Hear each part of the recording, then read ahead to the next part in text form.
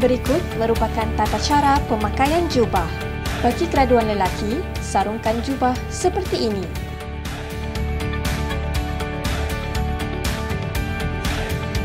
Dan kancingkan butang dengan rapi.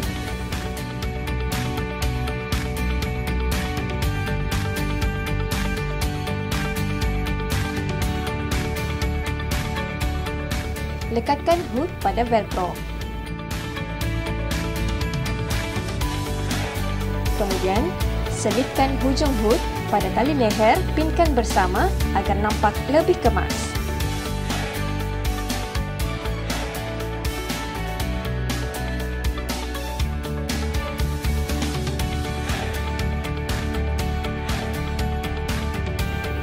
Bagi graduan wanita pula, sarungkan hood seperti ini.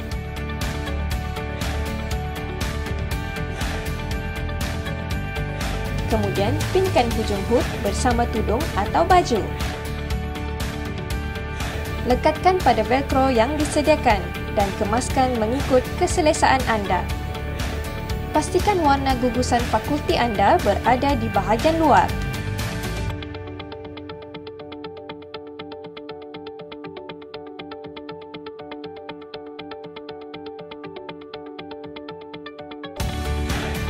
Ini motabot anda.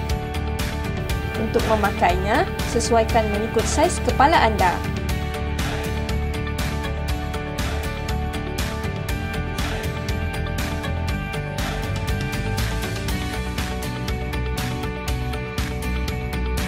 Kami nasihatkan agar beg tangan anda tidak dibawa masuk bersama ke dalam dewan. Berbual bersama rakan atau menggunakan telefon bimbit dengan suara yang tinggi adalah tidak dibenarkan pastikan anda sentiasa dalam keadaan sedia dan kemas sepanjang majlis berlangsung. Kami faham lelaki memang romantik. Tetapi, para graduan dilarang untuk membawa masuk, memberi atau menerima jambangan bunga di dalam dewan. Kami mohon agar anda sentiasa menghormati perjalanan majlis convocation. Kasut sukan?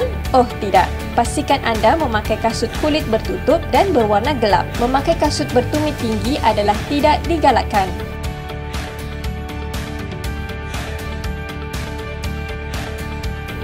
Anda dinasihatkan untuk makan dan minum sebelum majlis bermula. Tetapi bukan dalam dewan tau.